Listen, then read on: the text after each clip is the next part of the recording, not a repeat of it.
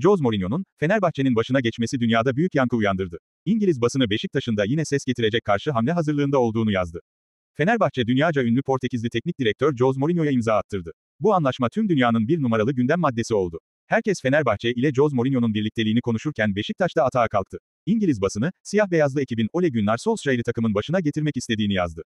Haberde yapılan yorumda, Beşiktaş, Ole Gunnar Solskjaer'in gelecek sezon Türkiye'de Jose Mourinho'ya meydan okumasını istiyor, denildi. Haberin detayları arasında Beşiktaş'ın, Fernando Santos ile anlaşmadan önce de Norveçli çalıştırıcıyla temas kurduğu, ancak olumsuz yanıt aldığı yazıldı. Tarafların bu kez anlaşma noktasına geldiği, görüşmelerin kısa sürede sonuçlanabileceği kaydedildi.